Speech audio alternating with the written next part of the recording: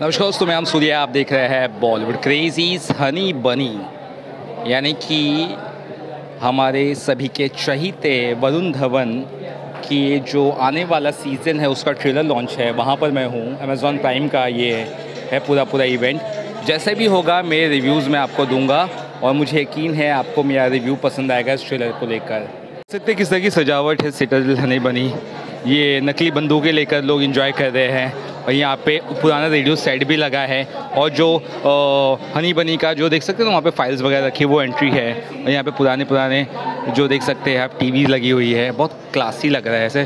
पुरानी फ़िल्मों में हम ज़्यादातर देखते हैं। देखते कितना कमाल का सेट लग रहा है।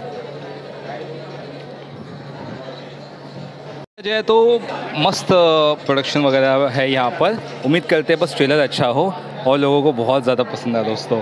देख सकते हैं मैम किस तरह से इन्जॉय कर रही है। उम्मीद करते हैं आपको वीडियो पसंद आए दोस्तों वीडियो पसंद है इस चैनल को जो सब्सक्राइब करेगा